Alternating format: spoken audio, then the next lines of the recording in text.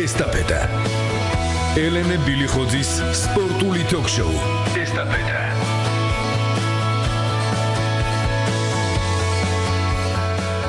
მოგესალმებით ეთერშია სპორტული თოქშოუ ესტაფეტა მიკროფონთან ელენე ბილიხოძე. წარმოგიდგენთ დღევანდელი ჩვენი გადაცემის სტუმარ საქართველოს ფეხბურთის ფედერაციის ვიცე-პრეზიდენტი ბატონი კახა ჭუმფურიძე. ჩვენ დღეს ზამთრის თასის გათამაშების შესახებ საუბრობთ. ჩემო გვერდით 240 92 92 92 92 კითხვას და მოსაზრებას ჩვენს ვებ გვერდზე ველით.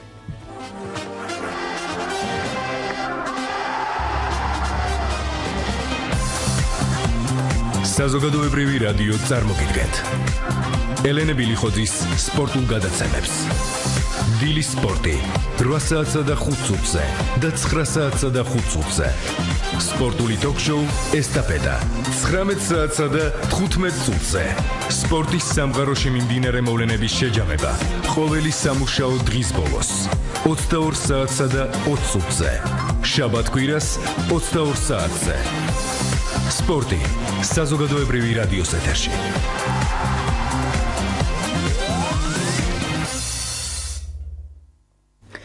ბატონ კახა კიდევ ერთხელ მოგესალმებით. მადლობა რომ ხართ დღევანდელი ჩვენი გადაცემის სტუმარი. მოდი თავდაპირველად აი ამ ტურნირის შესახებ თქვათ. იდეამ რამდენად გაამართლა ფაქტიურად გაჟღერების დღიდან საკმაოდ დიდი ამოლოდინი, როდის ჩამოვა თქვათ ესა თუ ის გუნდი, ესა თუ ის ფეხბურთელი, მაგრამ გუშინ დასრულებულ ტურნირს ერთგვარად სხვა ელფერიც ჰქონდა, თუნდაც სახელებით, თუნდაც შედეგებით და ასე შემდეგ. მოგესალმებით, მე სალმები რადიო მსმენელებს. მართლაც ძალიან კარგი ტრადიცია დამკვიდრდა დავით პეტრიაშვილის სახელობის სამთრის თასის გათამაშება. ფეხბურთის ფედერაციამ პირადად მისი პრეზიდენტის ლევან კობიაშვილის ინიციატივით დაიწყო ეს ტურნირი შარშან და წელს მეორეჯერ ჩატარდა როგორც მოგახსენეთ და ძალიან საინტერესოდ ლამაზად წარიმართა მე ვფიქრობ, რომ რამოდენიმე მიზანს ემსახურება ეს ტურნირი, ეს არის როგორც ბავშვების გათამაშება, ბავშვთა თასის გათამაშება, ესევე მოქმედი ფეხბურთელების სეზონის წინა მოსამზადებელი პერიოდი და ლეგენდები, რომლებიც მრავლად იყვნენ ამ ტურნირზე წარმოდგენილი და გაახარეს ასიამუნეს ქართული გულშემატკივრები, ცალკე აღნიშნულ ზღირსია, რა თქმა უნდა, დავით პეტრიაშვილის სახელის უკტავყოფა. ამ პიროვნებასთან დაკავშირებით შეიძლება ძალიან ბევრი ვისაუბროთ, ეს ხო ყველაზე წარმატებული ქართველი საფეხბურთო ფუნქციონერი და თავად ის ფაქტი რომ UEFA-ს გუნდი სპეციალურად ჩამოდის ყოველ წელს. ეს არის მნიშვნელოვანია მისი აღიარებაც და და თუ როგორც კარგი ფეხბურთელი ახალგაზრდობაში იყო დინამო თბილისის დუბშემადგენლობის წევრი საბჭოთა კავშირის ნაკრების წევრი ახალგაზრდული მოქმედებაში შემდეგ ნოდარ ახალკაცმა უკვე თავისთან წაიყანა ახალი ჩამოყალიბებული იყო ფეხბურთის ფედერაცია საქართველოსი. უცხოეთის განყოფილებას ხელმძღვანელობდა. შემდეგ იყო დინამო თბილისის მართველი დირექტორი და მისი ხელმძღვანელობის დროს დინამო თბილისმა მიაღწია UEFA ჯგუფურ ეტაპს და გამარჯვა ესენგეს თასზე მის დროს ჩამოყალიბდა დინამო თბილისის ბავშვთა საფეხბურთო აკადემია რომელიც დღესაც წარმატებით ფუნქციონირებს და აწვის მომავალ თაობას არა მარტო დინამოს არამედ ძალიან ქართულ ფეხბურთს და ფიქრობ რომ რა თქმა უნდა ამ ტურნირის იდეამ გაამართლა და ძალიან კარგად წელს კიდე უფრო ლამაზი იყო და მე მგონი ყოველწელს იხვეწება და უფრო მეტმა და კარგმა გუნდმა მიიღო მონაწილეობა და თვითონაც უკვე გამოთქვამენ სრულს როცა ისმით რომ ეს ტურნირი იმართება. თუ კი გავითვალისწინებთ თქვათ ფორმატს და ინტერესს რომ თქვათ იგივე ეროვნული ლიგის კლუბებსაც ქონდათ საშუალება ეთამაშათ ახალგაზრდებსაც მოზარდებსაც. როგორ თვლით სამომავლოდ ხომ არ იგეგმება თქვათ გაზრდა გუნდების რაოდენობის და ხომ არ თვლით რომ ფორმატშიც რაღაცა სიახლე შევიდეს თუნდაც გოგონებმა ითამაშონ და ასე შემდეგ. თქმა უნდა, იცით რომ ფეხბურთის ფედერაციამ დაიწყო უკვე მეორე წელი ასევე ტარდება ქალთა ჩემპიონატი საქართველოში, 9 გუნდი იღებს მონაწილეობას და ძალიან მნიშვნელოვანი და კარგი ტურნირია, რა თქმა უნდა, ქალების მანდილოსნების ჩართულობა გაგვიხარდება და შეიძლება დაიგეგმოს უკვე მომავალ წელს. თვითონ ფორმატი არის ისეთი, რომ ერთი დღის განმავლობაში ტარდება, ეს კი მეგეუნებით უკვე ვეტერანებთან დაკავშირებით, რადგანაც მოგეხსენებათ, რომ ყველა თავთავიან საქმეებთან დაკავებული და დიდ დროს ვერ გამონახავენ, რომ ჩამოვიდნენ და დაყონ, ხოლო ის რომ სეზონის წინა მოსამზადებელი პერიოდია და ქართული კლუბები მონაწილეობას იღებენ, ეს მე მგონი დაადგება მათ და დაადგება აგრეთვე აყურებელსაც, რომელიც სიამოვნებს და მინი ფეხბურთი ყოველთვის იყო ქართული გულშემატკივრის ერთ-ერთი თვალსაჩინო სანახაობა და მე ვფიქრობ, რომ ძალიან კარგია, როცა ამ პერიოდში, როცა საფეხბურთო ცხოვრება ცოტა შენელებულია, ზუსტად კარგ დროს იმართება ეს ტურნირი. და აი თუ კი ვიტყვით თქვა იგივე ეროვნული ლიგის გათამაშებაზე საკმაოდ საინტერესო იყო გათამაშების გუნდებზე საკმაოდ საინტერესო იყო თავად ფინალური მატჩი, როდესაც ლოკომოტივი და შევარდენი ეს ორი ახალგაზრდული კლუბი შეიძლება ითქვა შევარდენი გასული სეზონის ერთ-ერთი აღმოჩენა დაუპირისპირდა ერთმანეთს საკმაოდ დიდი იყო ანგარიში, გოლებიც საკმაოდ მრავლად იყო, ხა 4-0 არ არის ეს პატარა შედეგი, ხო, როდესაც ლოკომოტივი შევარდენს უკებს. დიახ, დიახ, და ნუ მინი ფეგურტს ახასიათებს ხანდახან ისეთი ანგარიშებიც მოულოდნელიც და მე ვფიქრობ, რომ ღირსეული ჩემპიონი არის ლოკომოტივი, ძალიან კარგი ფეხბურთელებით არის დაკომპლექტებული ახალგაზრდა ფეხბურთელებით და გაიმარჯვა დამსახურებულად და შევარდენიც მართლაც აღნიშნეთ, აღმოჩენა იყო შარშანდენის წელს და წელსაც მინი ფეხბურთში თავი გამოიჩინეს ფინალურს მიაღწიეს და კარგი და სანახაობრივი თამაში ანახეს გულშემატკივარს.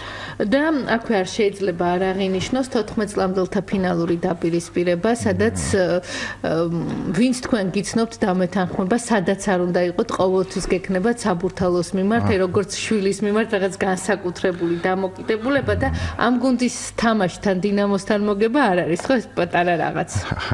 ასაგებია, რა თქმა უნდა ძალიან კარგი და ლამაზი სანახაობრივი თამაში გამოვიდა და ეს ეს ტურნირი კიდე ბავშვებისთვის არის ძალიან მნიშვნელოვანი, საინტერესო, იმიტომ რომ მრავალი სპეციალისტიც უყურებს, თვითონაც მონდომებულები არიან ტელევიზიასაც შუქდება ეს მათი თამაშები და რაც ვთავარე წელს პირველად მოხდა ის რომ ჩვენი 12 რეგიონიდან იყვნენ წარმოადგენლები ამასაკის ბავშვები რეგიონალურ ნაკრები მხედველობაში რომელიც შეიქმნა ფეხბურთის ფედერაციის მიერ ყველა რეგიონში არის რეგიონალური ნაკრები გუნდები და წელს ფეხბურთის ფედერაციამ თავის სახსრებით ჩამოიყვანა ეს ბავშვები და მიიღეს მონაწილეობა ტურნირში ეს ძალიან განსაკუთრებით კიდე מחარებს რადგანაც რეგიონებში ფეხბურთის განვითარება განსაკუთრებით მნიშვნელოვანია და ესეთი ტურნირი პოპულარიზაციას უწყობს ხელს. გოჩა თამბაშვილი არის რეგიონების ხელმძღვანელი ფეხბურთის ფედერაციაში. მან გააკეთა მისი ორგანიზაცია და მე მგონი ესეც წარმატებული პროექტია და კარგად გამოვიდნენ ბავშვებიც და რაც შეეხება ფინალურ თამაშს, ყველა მისია მოუნა და ესეთი გოლები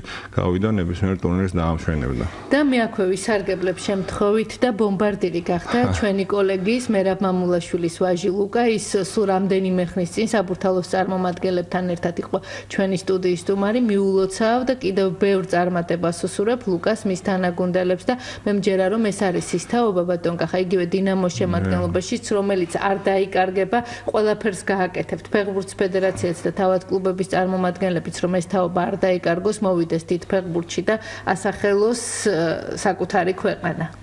დიახ მეც ულოცავ ლუკას და მართლაც არაჩვეულებრივად გამოვიდა ისიც და დინამო თბილისიც საბურთალოდ და ყველა მონაწილე გუნდის ეს ასე მონეყო თამაში და აღთკინება ამ ბავშვების. ასე რომ ვიზახი რომ პატარა პატარებმა ძალიან ისე ამონეს ასე ამონეს მაყურებელი და გაამართლა მათმა მონაწილეობამ ნებისმიერი ტურნირის მშვენება, როდესაც ქართველი და უცხოელი ვარსკვლავები თამაშობენ და გადაცემის დაწყებამდე ვთქვი და ვინ სოციალურ ქსელში თვალსადევნებდა, რამე თანხმობა რომ ფაქტურად გუშინდელიდან მოყოლებული არის, რომ ალექსანდრიაშვილი ისევ დააბრუნეთ ნაკრებში ის ჩოულ ფორმაში იგივე ანუ ეს არის ნებისმიერი რანგის, ნებისმიერი დონის შეჯიბრის, აი მართლაც მშვენება, დიახ. და მოდით აი ამ მატჩზეც ვთქვათ. რა თქმა უნდა და საციხარულო საქართველოს ნაკრებმა მეორეჯერ შეძლო და გამოიმარჯვა მართალია მძიმედ დაიწყეს პირველი ტაიმი მხედველობაში მაგრამ შემდეგ როგორც იტყვიან აკრიფეს ფორმა გამოიმარჯვეს ძალიან ლამაზად და დამაჯერებლად და მართლაც ალექსანდრიაშვილი ვეთანხმები გულშემატკივრებს არაჩვეულებრივ ფორმაშია განსაკუთრებით აგრეთვე მინდა გამოყო ქალაქის მერ რომელიც გადატვირთული გრაფიკის მიუხედავად ამ ტურნირში თავიდან ბოლომდე იყო ჩართული და ეს იყო დათოს მეგობარი პატივისცა მიხსოვნას და ქართული გულშემატკივრებს გაახარა და თქვენთანაც ნახეთ როგორ ფორმაში ბომბარდირიც გახდა. და მე თვითონ ისახელები რომ ამავისკა ამავროზო და ასე შემდეგ უამრავი სოფლიო დონის ვარსკვლავი იღებდა მონაწილეობას კიდევ ერთხელ ხას უშავს ამ ტურნირის მნიშვნელობას აჩიმოვიჩი უეფადან ლუპესკუ რომელიც ასევე დათოს უახლოესი მეგობარი იყო. და ეს ტურნირმა მართლაც უმაღლეს დონეზე ჩაიარა და ჩვენი ბიჭები უბრალოდ დათომუჯირს ტრამვის გამო ვერ მიიღო მონაწილეობა თორე შარშან ვინც წინავდა წელსაც დაემატა ზურაბ ხიზანიშვილი იგივე ფიქრობ რომ დანიელ კარგად გამოვიდნენ. და მნიშვნელოვანია ამიტომ რომ გამარჯვება ნებისმიერ დონეზე მნიშვნელოვანია ქართული ფეხბურთისთვის და პრეზიდენტის ლევან კობიაშვილის შეხედულებაში არაჩვეულებრივ ფორმაში იყო ეს ნებისმიერმა ფეხბურთელმა გამოიჩინა თავი და არ არის ადვილი. მე გეტყვით ერთ რამეს რომ უკრაინის ნაკრები უკრაინის ნაკრები საერთოდ უკრაინაში რეგულარულად სტარდება მარტო უკრაინის მაგალითი რო ავიღო და აღარ ვიძახი ესპანეთსა და იტალიაზე რეგულარულად სტარდება ვეტერანთა ტურნირები ძალიან მნიშვნელოვანია. განსაკუთრებულ ყურადღებას უთმობენ მას. არის დაყოფილი 35-დან 45 წლის ასაკამდე ვეტერანთა ჩემპიონატი 45-დან 55-მდე და 55-ის ზევით. აი ესეთი ეს არის არის ესეთი ნაკრები გუნდებთან მოუწიათ ჭიდილი ჩვენ ფეხბურთელებს, ჩვენს ვეტერანებს, ვარსკვლავებს და გამარჯვეს დამსახურებულად და ძალიან ლამაზად. გადაცემით დასაწყისში ბრძანეთ, რომ ეს ტურნირი თავად ფეხბურთის განვითარებას და პოპულარიზაციას ემსახურება. როგორ თვლით, რა უნდა იყოს 2018 წელს მთავარი, რომ ქართულ ფეხბურთში, როგორც საკლუბო, ასევე სანაკრებო დონეზეც მოვიდეს წარმატება? მე ვფიქრობ, რომ ჩემპიონატი ფორმატი ამართლებს თლიანად დადგუნდიანი ჩემპიონატის ფორმატი და ეს აუცილებლად მოიტანს შედეგს, მე გიმეობ საქართველოს ჩემპიონატის დონის ამაღლება. და მაგრამ ეს არის მრავალწლიანი პროცესი, ეს ნაბიჯ-ნაბიჯ გადასვლა. ეხ წელს უკვე ხედავთ რომ უფრო დაიძაბა ბოლო ტურამდე არ იყო ჩემპიონი გამოვლენილი თამაშების რაოდენობის მნიშვნელობაც ხარისხმაც მოიმატა. ჩემი აზრით დაძაბულობა იყო ყველა ტურში ყველა თამაში და კიდევ მეორე პრო აუცილებლად გამოიგებს ეს შედეგს და დონერ საქართველოს ჩემპიონატში ამაღდება და ამასთანავე ის იქიდან წამოსული ფეხბურთელები შეფსებას მოუტანენ. ჩვენ ნაკრებ გუნდეს, მაგრამ მეორე პრო ეს არ არის მოკლევადიანი პროცესი, ამას უნდა რამოდენიმე წელი, კარგია ეს რომ შუქდება, ეს ფეხბურთელებს გამატების სტიმულს აძლევს. ეხლა არის პროექტი რომ უმაღლეს ლიგაში აქტიურად შეისვალოს მოედნები, ასევე ევროპის ფედერაციის ინიციატივით და ხარის ეს კიდევ უფრო გააუმჯობესებს, განათება იყოს, განათების ქვეშ იყოს თამაშები და მე მგონი ჩვენ უნდა მივახლოვდეთ ცოტა ხანში წამყვან ევროპულ ქვეყნებს. ვფიქრობ, ხარისხიც კიდე მოვა მე ორგანიზაციის დონით და ხარისხიც რამოდენიმე წელში უნდა აიწიოს და ვფიქრობ, რომ ნამდვილად ესე იქნება. თუ დგას უკვე პროექტში, რომ იგივე ქვედალიგის გუნდებშიც დაიწყოს ეს ინფრასტრუქტურის მოწესრიგების საკითხი, ბატონ გახამდო, რომ საკმაოდ ბევრი კარგი თამაშია, მაგრამ პრობლემად მაინც რჩება ეს ინფრასტრუქტურა. კი, გეთანხმებით, მაგრამ აი უბრალოდ რომ ჩამოვთვალოთ 2 წლის განმავლობაში, რაც როგორც ფედერაციის ხელმძღვანელობაში მოვედით ესე რომ ვთქვათ, სახელმწიფოსთან ურთიერთობის შედეგად რამოდენიმე კარგი სტადიონი მიიღო უკვე საქართველოს დავით პეტრიაშვილის სახელობის სტადიონი, რომელიც ართლას დიდამსახურება მიუძღვის სპორტის ყოფილ მინისტრს ბატონ ტარიხ ჩიკაშვილს. აა მოგეხსენებათ რომ 19 წლამდე ჩემპიონატი ევროპის ჩატარდა ამ სტადიონზე გორში, რომელიც აა თანამედროვე სტანდარტებით არის განათებით ბათუმში ანგისას ბაზა, ზუგდიდში სტადიონი, მარტვილში ახლა იხსნება სტადიონი, ამბროლაურში სტადიონი გაკეთდა სტანდარტული და მეორეს უკვე აპირებენ.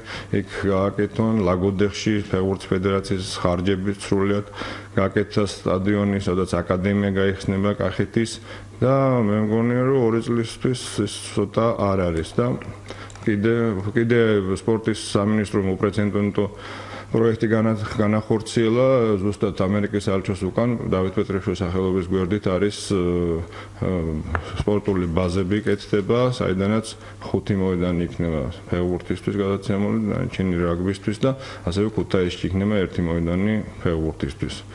ვფიქრობ, რომ ინფრასტრუქტურის გარეშე, რა თქმა უნდა, წარმოუდგენელი განვითარება ფეხბურთის, მაგრამ აი ამ მოკლე დროში ის რაც წლებით არ გაკეთებულა, უკვე მოესწრო, კეთდება, ამას ძალიან დიდი როლი მიუძღვის ქვეყნის მთავრობას და ადგილობრივ ხელისუფლებას, რომელიც ხელს გვიწყობენ ჩვენ ფეხბურთის ინფრასტრუქტურის განსავითარებლად. მობილური გვირეკავს ბეტონ გახამსმენელი, მოდით მას მოусმინოთ, გისმენთ მოგესალმებით.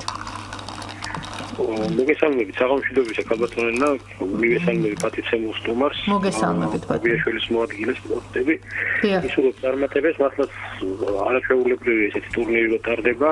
რა თქმა უნდა საქართველოს ეს პირდონე დღესხეობით სულ მომარეობაში, მაგრამ ნელ-ნელა ალბათ ესე აიწევს და კარგია არ დავმალავ არაერთხელ მithkoms ადრე მათი მეშვეურების როცა იყვნენ სტუმარი და ისედაც რომ საფურცალოს გულშემატკივრად ვიქცეცი და არა იმიტომ რომ ჭიაბრიშვილს ვიცნობ და ლაშარმოზაძე ჩემი მეგობარია, მათ მოკლედ კაი თამაშები აჩვენეს და სიმპათიები დაიმსახურეს, როგორც გადმოვიდნენ პირველი ლიგიდან, არაჩვეულებრივი 3-4 თამაში ზედიზედ მოიგეს. ეხლა დინამოს მოიგეს და უსურვებ ამ გულს წარმატებას. ასევე რა თქმა უნდა ყველას და კარგი იქნება თუ ზესტაფონი დაბრუნდება ისე და საერთოდ პოპულარიზაცია ქართული ფეხბურთის და ერთმა გაანათლოს კაცის ლამაზი დავით პეტრიაშვილზე მაგ საუბარი მით უმეტეს მისი უკნაყოფა საჭირო იყო და უფრო კარგიც არის ეს ტურნირი შეიქმნა. ეს ერთი და კიდევ ერთ დავამატებდი რომ კარგი იქნებოდა აგერ 12-ში მიუძღვა ქალბატონელამ მიშა მესხის დაბადების დღე იყო და გუშინკი და რაიო ჯეჯელავას დაბადების დღე იყო და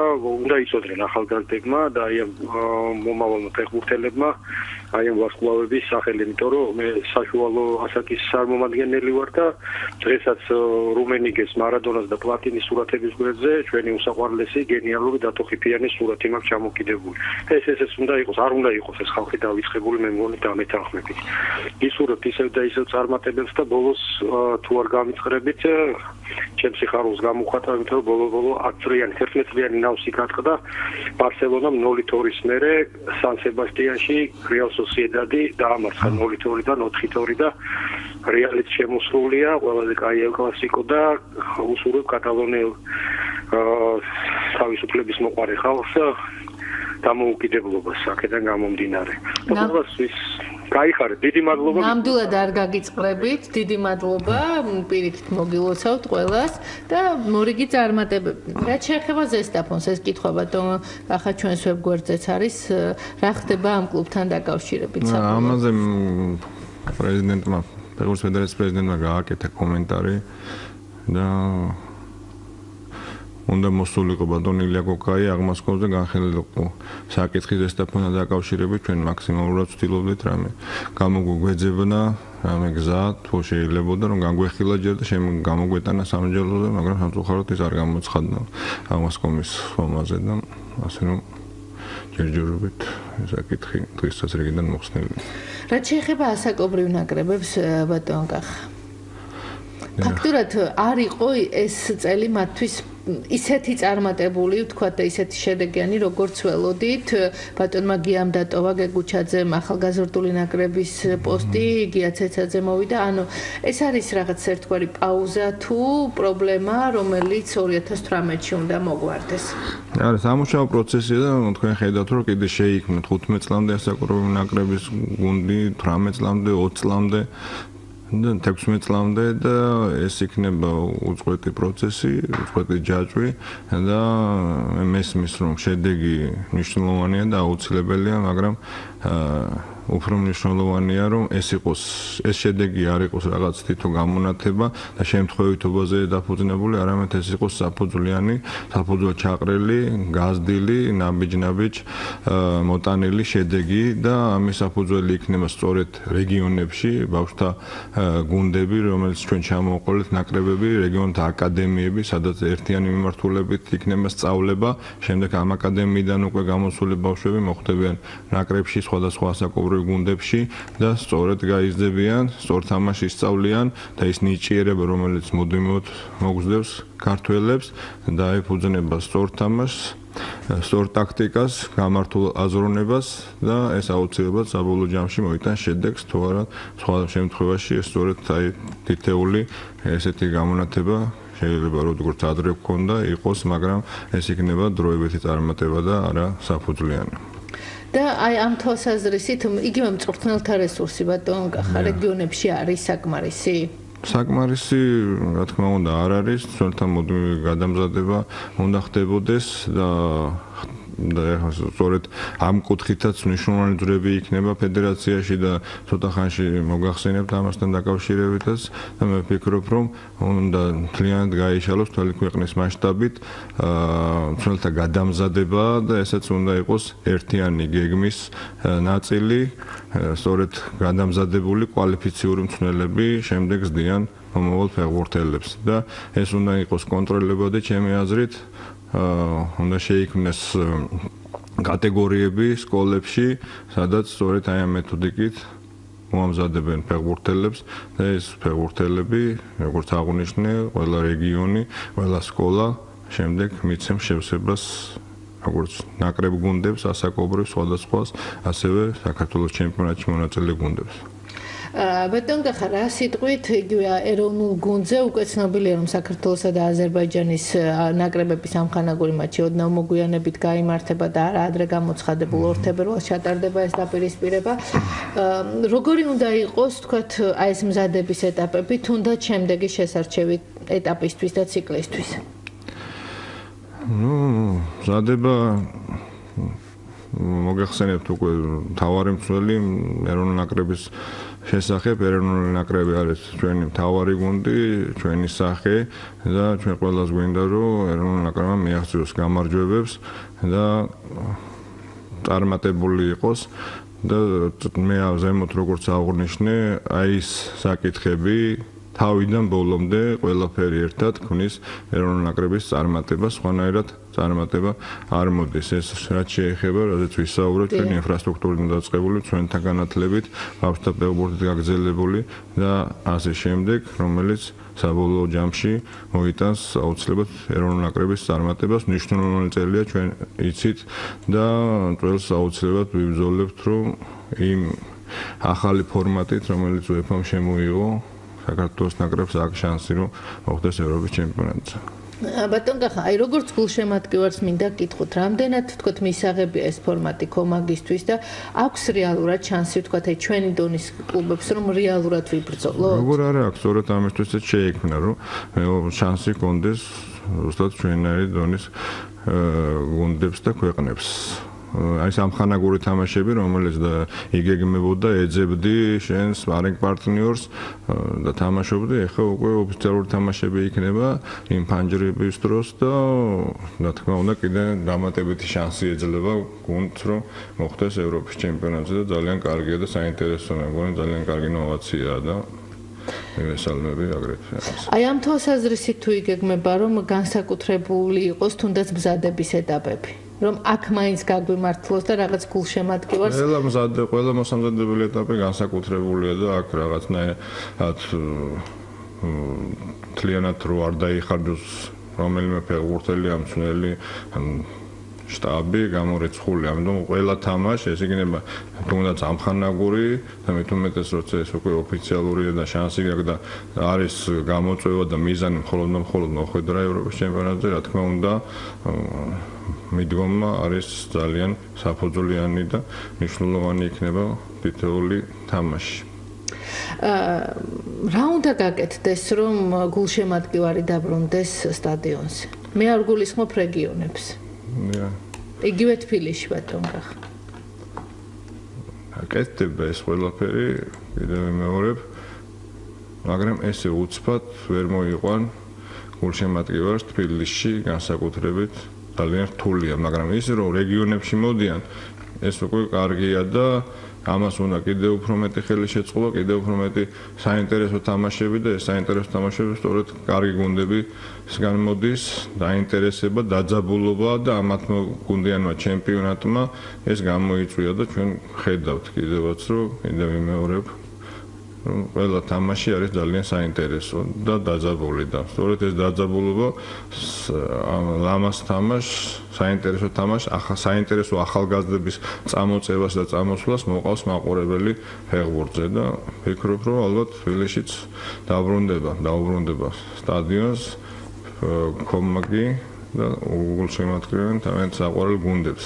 როგორც ეს არის და გვიხარე, როცა ტელევიზორს ჩავთო და ევროპის ქვეყნებში სავსე და გადაჭედილი სტადიონებია, აი ესე იმედია რომ იქნება საქართველოსიც, ოღონდ ეს ყველაფერი უნდა მოვიდეს აი მერთობლიობით, ამ მერთობლიობის შექმნით და გვერდში დგომით. იმიტომ რომ დიდ ფეხბურთს მარტო ფეხბურთელები არ ქმნიდნენ, როცა ჩვენ ყავდა და ნატრობთ და ვიხსენეთ იმ ძვლებწლებს, ვიტყვი ერთ რამეს რომ ამ დიდ ფეხბურთს ასევე ქმნიდნენ დიდი კომენტატორებიც, ასევე დიდი ჟურნალისტების და ასევე ქმნიდა ის ძალიან გემოვნებიანი გულშემატკივარი, რომელიც ყოველთვის ყავდა ქართულ ფეხბურთს და ეს ერთობლიობაში შემდეგ იძლეოდა შედეგს და ეს იყო ქართული ფეხბურთის წარმატება.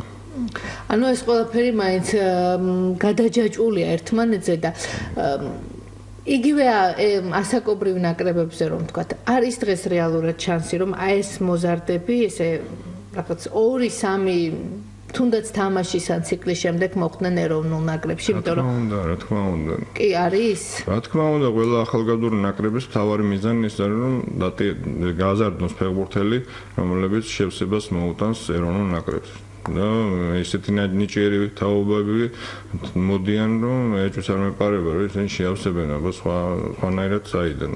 უნდა შეევსოს ეროვნულ ნაკრები და ამის ნათელი მაგალითი იყო 19 წლამდე ჩემპიონატში გამოსვლა როცა გადახედავდი თუ რა გუნდების ფეხბურთელებთან უწევდათ პაეკრობა და არაფერში არ დაუდეს ტოლი მიხვდებით რომ ჩვენ ძალიან ნიჭიერი თაობები გვესდება უბრალოდ კიდევ ერთხელ ვიმეორებ აი ამ ყველაფრის ერთიობლიობა მოუტანს შედეგს ქვეყნის პირველ ნაკრებს და ეს ბავშვები სწორედ აღზრდილები უნდა მოხდნენ ნაკრებში და განსწავლულები კიდევ ერთხელ ვიმეორებ ყველა საფეხბურთო თვალსაზრისით და კომპონენტით და არა მარტო როგორც ჩვენ ვიძახით ხოლმე ფეხბურთის ტერმინით, რომ არა მარტო ინდივიდუალურ სტატებით და მატაობით. ბატონ კახაი, ქართული ფეხბურთი რომ სმენელი გველოდება, მოდი ჯერ მას მოსმინოთ, გისმენთ გამარჯობა. მოგესალმებით. ალო? მოგესალმებით. აა, მშვიდობა ხალბატონო ელენე. მოგესალმებით ბატონო. მივესალმებით სტუმარს.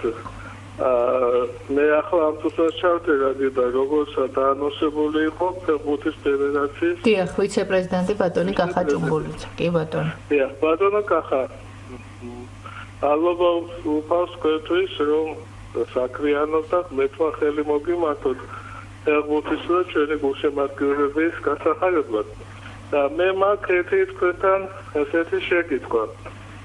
მე ვარ საქმეა უსილათო ფედერალობით პირველი ჯგუფის ფინალები და არის ეგეთი სა ტიპლო ტიპლო კომენტირება. და აი ამ ტიპლო კომენტირების ჩვენ შაშა შაშადინ საქართველოს ნაკრების თამაშებს ესწრებოდით დინამო თბილისის საერთაშორისო თამაშებს ესწრებოდით და ასე შემდეგ და ბატონო და ხალ ეს საქმე არის ეთუზიაზმი და ნუ ხოიცი და ეთუზიაზმი კი კარგია მაგრამ მე ნელ-ნელა ხრება და თუ შესაძლებელია თქვენთან ჩვენ აი უშუალოდ კავშირის წარმომადგენლები კალბატონი მარინა მამულია არასამთავრობო ორგანიზაციის წარმომადგენლები რომ მოვიდეთ და მე მხარდაჭერა თუ იქნება თქვენი მხრიდან რომ აი ესე გულშემატკივრობა გაუწიოთ თვითონ ჩვენო სინათლესაც გვიყვარს ფეხბურთი და გულშემატკივრობთ რა თქმა უნდა და დავდივართ მაგრამ უკვე ენთუზიაზმი ეს საქმე რაღაც მინელებისკენ მიდის და თუ იქნება თქვენ ხალხაჭერა და თუ შეიძლება რომ მოვიდეთ. კი ბატონო, დიდი მადლობა. ძალიან ბატონო. პირველ რიგში უღმესი მადლობა თქვენ ხარდაჭერისთვის და იმისთვის რომ ვიყვართ ფეხბურთი. ძალიან და რა თქმა უნდა აუცილებლად იქნება მხარდაჭერა ფეხბურთის ფედერაციის მხრიდან. და ნებისმიერ დროს გელოდებით ფეხბურთის ფედერაციაში. ამ საკითხებს კურდებს ვიცე-პრეზიდენტი ნიკოლოზ ღარკავა და ყველანაირად დაგიდგებით გვერდში კლიენტ ფეხბურთის ფედერაცია. ეს არის ნამდვილად მნიშვნელოვანი, რომ ძალიან ბევრ თამაშს ისინი ჩვენი სტუდიის სტუმრებიც იყვნენ და იმდენად ახტაცებით და იმდენად ემოციით საუბრობდნენ ამ ყველა. ეს არის საკმაოდ კარგი ევროპული ტრადიცია, რომელიც UEFA-ს ეკიდი წლების წინ დამკვიდრდა და მე მჯერა რომ საქართველოს არ გამოაკვდება ამ ტრადიციას. რა უნდა, შემთხვევაში პირიქით ყველანაირად დაუჭერთ ხარს. და თავად ველოდებით ფეხბურთის ფედერაციაში ამ არაჩვეულებრივ ადამიანებს. და თავად ის ფაქტი რომ დღეს უკვე ყველაფერი ადაპტირებულია და ყველა შეუძლია მოვიდეს სტადიონზე, იხილოს ეს თამაში, ნახოს ეს ვარსკვლავები, ძალიან ბევრი ადამიანისთვის გახდა სტიმულის მომცემი. თუნდაც ეროვნული ჩემპიონატის მატჩებზე და ეს ძალიან მისასალმებელია ბატონ კახა, რომ აღარ არის ეს შეზღუდვები და ყველას აქვს თანაბრად. ბატონო, მე თუმეტეს მაგალითის მიმცემი, როცა ადამიანები მოდიან და აი ამ ამგზნობით არიან გამშავლური და გულშემატკივრენ თავის გუნდებს, რატო ხები არ უნდა მოვიდენ? კი ბატონო. აი ასე უყვართ ფეხბურთი საქართველოში. დიახ, ბატონ კახა, ისე ეროვნული ლიგის გათამაშებას დაუბრუნდეთ, თქვა, ჩვენ ვისაუბრეთ დადებითი ფაქტორების შესახებაც, თქვა, პრობლემების შესახებაც, მაგრამ აი მაინც საკლუბო ფეხბურთი რომ უფრო მეტად წარმატებული გახდეს და ლეგიონერები ჩამოვიდნენ, მხოლოდ და მხოლოდ ფინანსები ამისთვის საჭირო? ფინანსები არა, რატო სწორი ორგანიზაცია და მენეჯმენტი ფინანსებით მარტო ვერაფერს შეიძლება გქონდეს. ფული, არა, არასწორად იხარჯებოდეს და მაგიტომაც სწორედ შეიმუშავა საქართველოს ფეხბურთის ფედერაციამ ჯიპასთან ერთად თუ აკეთებთ არაჩვეულებრივ პროექტს, ეს არის CFM-ის კურსები, სადაც ფეხბურთის მენეჯერების გადამზადება ხდება, მთლიანად ხარჯს წევს ფეხბურთის ფედერაცია და იმ ადამიანებს, რომლებიც ფეხბურთში არიან ჩართული, უწევთ გაიარონ ეს კურსები, ჩააბარონ შემდეგ გამოცდები და აიღონ დიპლომები და შემდეგ უკვე მართონ ის კლუბები, სადაც მათ მიიწვევენ. ყველაზე მთავარი გამოწვევა ეს არის მენეჯერი, იმიტომ რომ შეიძლება ყველაფერი ქონდეს, მაგრამ არასწორი მართვის შედეგი შედეგად მივიღოთ უკვე უბრალოდ ვერ მივიღოთ ვერანაირი შედეგი.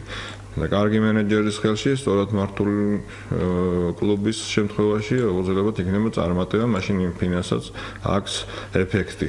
და ეს ძალიან მნიშვნელოვანია, მეტო დეფიციტი იყო ამ ხრივ და ჯერჯერობით არის კიდევაც, მაგრამ იმედი მაქვს, რომ ეს ესეც გამოსწორდება. და სწორად მიდის ფედერაცია ამ კუთხით და აუცილებელი იყო ქართულ ენაზე პირველად მოხდა UEFA-დან ჩამოსულები იყვნენ რომ ეს კურსები ტარდება პირველად მოხდა ამ ამ კურსების ქართულ ენაზე წარმართვა ადრე ინგლისურად ტარდებოდა და მოდით თქვათ იგივე მსაჯთა აკადემიის შესახებაც, სადაც საკმაოდ წარმატებით 10 იანვარს დაიწყო მზადების მეორე ეტაპი და 7 გოგონა არის, ვინც ეუფლება მსაჯის პროფესიას. ესეც რაღაც ახალი სიახლეა ქართული ფეხბურთისთვის უფრო სწორად. ესეც აგრეთვე ემსახურება განათლებას როგორც ამ მიმართულებებით ასაც ქვია მენეჯმენტი, ასაც ქვია მქონელი აუცილებელია მსვაჭთა განათლება, მომზადებული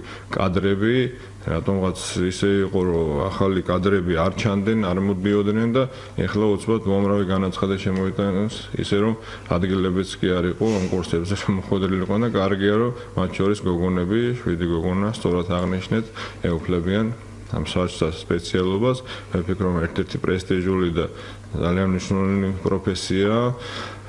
და კარგია რომ ძალიან ბევრმა ახალგაზრდამ გამოთქვა სურვილი და ვფიქრობ რომ ამ კუთხითაც მნიშვნელობიჯებს გადავდგა. და სხვა შორის სასიკეთოდ უნდა ითქვას რომ წლევანდელ გათამაშებაში მსაჯის მიმართ პრეტენზია მინიმუმამდე იყო დაყვანილი ბატონგა.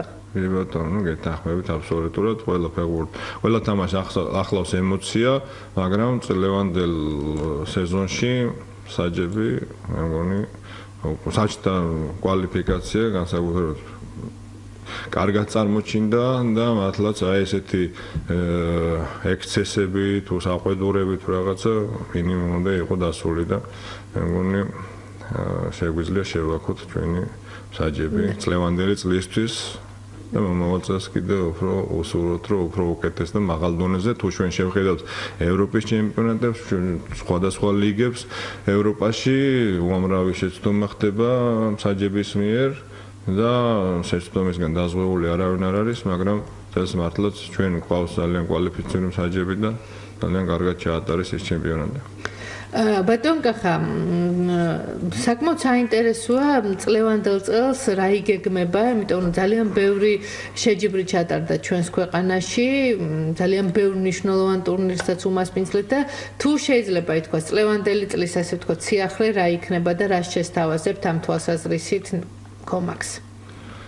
წლევანდელ წელსაც ბევრი იქნება, რა ვიცი, ციახლე ჯერ რო გითხრათ ისეთი დაგეგმილი არ არის, მაგრამ მე მგონი მაინც გავახარებ ჩვენს გულშემატკივრებს და რამოდენიმე ახალგაზრდული ტურნირი, რამდენად მოგახსენეთ, რომ უამრავი ახალგაზრდული ნაკრებია სხვადასხვა ასაკში შექმნილი და ჩავატარებთ ტურნირებს უკვე მონახაზი არის გაკეთებული, მაგრამ უფრო კონკრეტულად რამოდენ დღეში შეგვიძლია რომ ამაზე ვისაუბროთ, თუ რომელ თვეში როდის და რა გუნდებს და ძალიან მნიშვნელოვანი გუნდები, ანუ უფრო სწორედ ცნობილი გუნდების ახალგაზრდული გუნდებიც, როგორც საკლუბო დონეზე, ასევე სანაკრებო დონეზე ცნობილი ქვეყნებიდან იქნებიან წარმოადგენლები და კარგ და ლამაზ ტურნირებს ჩავატარებთ საქართველოში. გოგონებზეც თქვათ.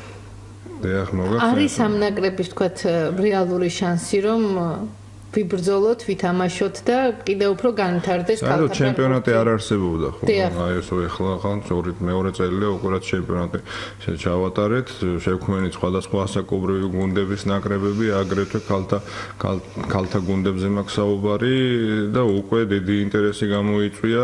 არის ძალიან კარგი რამოდენიმე პერსპექტიული ფეხბურთელი ესე რომ ვთქვათ, მოგონების და ეს ამ ხრივ განვითარებას ჩვენთვის არის უმნიშვნელო და საერთოდ მასობრივი ფეხბურთი არის უმნიშვნელოვანესი ფეხბურთის ფედერაციისთვის. ეს არის უმნიშვნელოვანესი პროექტი, რადგანაც რაც უფრო მეტი ადამიანი იქნება ჩართული ფეხბურთში, ჯერ ესეთი ჯანსაღი ცხოვრების წესი, მე ის რომ ფეხბურთის პოპულარიზაცია, მე ის რომ სწორედ აი აქედან მასობრივობიდან გამოდის შემდეგ ხარისხი და იცით და მოგეხსენება ჩვენ რომ შეიძლება ბევრი რამე არ გავიხსენოთ. უბრალოდ კომუნისტური ეპოქიდან, მაგრამ ყველა სოფელში, ყველა რაიონში იყო სტადიონი, ყველა კონვერნებას ყავდა გუნდი, და იყოს იმართებოდა ჩემპიონატები და აი ახლა ზუსტად ჩვენაც დავიწყეთ მოყვარულთა ჩემპიონატი 300 გუნდი მონაწილეობს უკვე მოყვარულების და მე მოხარული ვარ რომ ხშირად მომიწევს ისე დაუგმენელთაც კი როცა რაიონში გავდივარ დამინახავ სტადიონზე უკვე შეკრებილი ადამიანები გამეჩერებია მანქანა და ჩემპიონატი იმართება და ესწრება ძალიან ბევრი ადამიანი კომაგი და ეს არის სწორედ სასიხარულო და ძალიან კარგია, რომ ინტერესი საქართველოსში ფეხბურთის მიმართ არის ძალიან დიდი. აი ნებისმიერ სოფელში ახლა დაიწყება ეს ჩემპიონატი და შეგიძლიათ მოიკითხოთ სოფლებს ყველას გუნდები ყავთ და ესენი შაბათკვირას ფეხბურთს თამაშობენ. როგორც თბილისში, ასევე რაიონებში და რეგიონებში.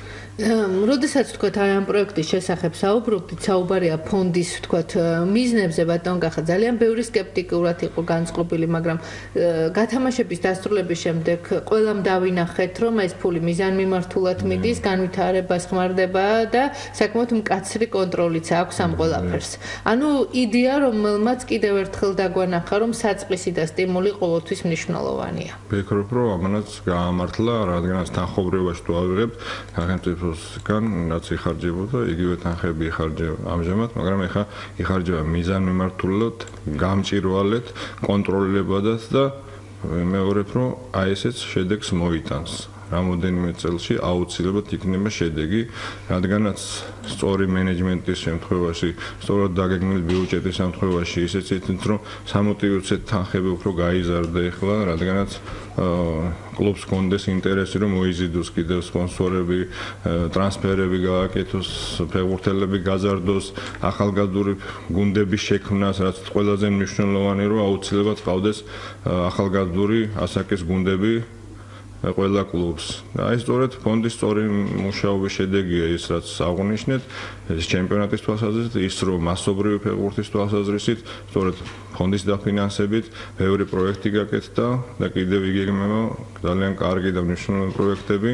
აი ყველაფერი ამის ერთობლივობა საბოლოო ჯამში აუცილებლად მოგცემს შედეგს და რაც თქვენ აღნიშნეთ, აბსოლუტურად გეთანხმებით, ყველა თეთრი არის გამჭირვალე და ეხარჯება მიზანმიმართულობა და ნებისმიერ ადამიანს შეუძლია ნახოს და გააკონტროლოს. და თუ იგეგმება თქვა თან გაზრდა საპრიზო ფონდის თუ ეს ყველაფერი მაინც სახელმწიფოსთან ერთობლივი შრომის და მუშაობის შედეგზეა დამოკიდებული. არ ფონს ყავს თავის გამგეობა, რა თქმა უნდა, ფეხბურთის ფედერაციას თავის წინადადებას წარადგენს, შემდეგ გამგეობა მის თავმჯდომარე გადაწყვიტავს თუ რომელი პროექტი ახალზე მაქვს საუბარი ღირსო და ფინანსებს და უფრო მეტად იქნას ყურადღება მიქცეული. აი ამ თვალსაზრისით რომელიმე ახალ პროექტს თუ განეხილავთ, რომელზეც დღეს უკვე საჯაროდ შეიძლება საუბარი. ჯერჯერობით ვერ გეტყვით, მაგრამ რა თქმა უნდა ახალ პროექტებს ყოველდღე მუშაობ და მომავალში ესეც გამოვა სამზეოზე ესე რომ ვთქვა. რეგიონი, აი ისევ რეგიონს მინდა დაუბრუნდეთ, რომელსაც ყველაზე მეტად უჭირს ბატონკახ. თუ არის ესეთი? კი, მე ვფიქრობ, რომ სამცხე-ჯავახეთში არის ძალიან ესეთი პრობლემატური აა მე ვისურვებდი რომ ამ რეგიონსაც ამ რეგიონში ვიყავთ ფეხბურთი და ამ რეგიონშიც რომ გამოცოცხლდე და უფრო მეტი ყურადღება ქონდეს და მე ჩემ თავზეც ვიძახი პირადად, რომ ეტი ყურადღება დაუთმოთ და უკვე ამ წელს იგეგმება, რომ ამ რეგიონში გვექნება გასვლები და მივაქცევთ ყურადღებას და აი მაგალითად ავიღოთ თქვენ შეგვიძლია რაჭელი ჩხომი ქვემოსვანეთის რეგიონი ავიღოთ, სადაც გითხარით რომ ამროლაურში შენდება უკვე დამთავრდა ფაქტიურად სტანდარტული ზომის სტადიონის შენელობა და ეხლა მეორე სტადიონს იქვე გვერდში აპირებენ რომ გააკეთონ ეს მისცემს რეგიონს იმის საშუალებას რომ ტურნირები ჩატარდეს ბავშვები გაიზარდოს მივიდეს იქ ტურისტული რეგიონია მოგეხსენებათ და დაინტერესდეს ინვესტორი ალაშენოს სასტუმრო მაგალითად და უკვე ესე რომ ვთქვათ ბიზნესის კუთხითაც ძალიან საინტერესოა. ასევე სამეგრელოში მოგახსენებთ რომ 30-ში იხსნება ის სტადიონი რომელიც მარტულში აშენდა ლაგოდეხზეც მოგახსენეთ და ფიქრობ რომ ეს რეგიონებში ძალიან გამოცოცხლა ცხოვრება იგივე გურიის რეგიონში აჭარაში ახლა გუნდი ბათუმის დინამო მნიშვნელოვან პროექტს განახორციელებს და ბავშვთა ფეხბურთიდან იწყებს და სწორი ამ საფუძვლების შექმნა. მე ვფიქრობ, რომ რეგიონებში ძალიან გამოცოცხლებულია და ესეც ძალიან მნიშვნელოვანია. რაზეც დგას ქართული ფეხბურთი და იდგა უფრო სწორედ ეს იყო რეგიონები და როგორც რეგიონებში ფეხბურთი ჩაკვდა ესე რომ ვთქვა განელდა ცხოვრება საფეხბურთო ეს ადეკვატურად აისახა შედეგებზე და მომავალ ნიჭიერ თაობებზე. მაგრამ ეხლა მიმეორებ რომ რეგიონთან ნაკრებები შექმნით ინფრასტრუქტურის გამოცოცხლებით და გაკეთებით ადგილობრივ ხელისუფლებასთან ერთად მუშაობით ნელ-ნელა ეს ყველაფერი უკვე დაიწყო და მოდის ძალიან სასიკეთოდ და ბოლოს ბატონ კახა მინდა ჩვენს მსმენელსაც უთხრა და თქვენ თავად ბრძანეთ ამ ყველაფრის შესახებ. წლევანდელი წელი ძალიან მნიშვნელოვანია ქართული ფეხბურთისთვის. ბატონი ნოდარ ახალკაცის 80 წლის იუბილე აღინიშნა. 25-ში მისი გარდაცვალებიდან 20 წელი სრულდება და როდესაც იყო მისი ბიუსტის გახსნა თავადაც ბრძანეთ რომ მთელი წლის განმავლობაში ძალიან ბევრი ღონისძიება ჩატარდებოდა. ეს არ იქნებოდა მხოლოდ მხოლოდ ერთჯერადი ღონისძიება და ეს საიუბილეო თარიღი ფაქტიურად ფაქტურად იქნება 2018 წლის ერთგვარი მამოძრავებელი მუხტიც. მინდა რომ უთხრა მადლობა სკოლის ხელმძღვანელობას საკრებულოს თბილისის რომელსაც არშან გადაწყვეტილება მიიღო რა თქმა უნდა ფეხბურთის ფედერაციის გვერდში დგომით ხელშეწყობით ეს სკოლას მიენიჭა სახელი, შემდეგ გაიხსნა ბიუსტი, ვეტერანთა კავშირი ვერჩი ედგა ესეთი სასახელო ადამიანი, საუკუნისმცემელი ნოდარა ხალხაცი მართლაც იმსახურებს ამ პატივისცემას და შეიძლება რომ ეს წელი ფაქტიურად გამოცხადდეს ეს სახელობის წლად, ის იყო ერუდირებული, ძალიან განათლებული კაცი და სწორედაც მიესადაგება რომ სკოლას მიენიჭა მისი სახელი იმ უბანში, სადაც ის გაიზარდა და ცხოვრობდა და ძალიან ბევრი ბევრი კარგი და საინტერესო პროექტების და ტურნირი იმართება ფესტივალი მის სახელობის გაზაფხულზე სხვადასხვა საკობრიო გუნდებში თბილისში და კიდე ბევრი საინტერესო პროექტი იქნება მე სახელთან დაკავშირებული და ასოცირებული. და თუნდაც ეს ფაქტი მიანიშნებს, რომ არც ერთი ლეგენდა არ იქნება დაიწყებული და ყოველას ექნება ყოველთვის დაფასება, რაზე ჩვენი მსმენელი საუბრობ და არავინ არასდროს არ დაგვავიწყდება და ყოველთვის ვიტყვით მადლობას იმ საქმეების და იმ შედეგების მიმართ, რომელიც მათ თითოეულმა მათგანმა არა მარტო ქართული ფეხბურთის, არამედ სპორტის და მთლიანად ქართული კულტურის განვითარებაში შეიტანეს, იმიტომ რომ თუკი ცალ-ცალკე შევაფასებ მეგობრობის ღვაწლი ძალიან მნიშვნელოვანია.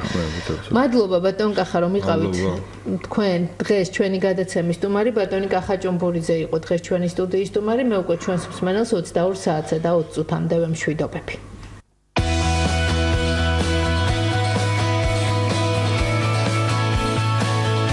ესტაფეტა. ელენე ბილიხოძის სპორტული ток-შოუ. ესტაფეტა.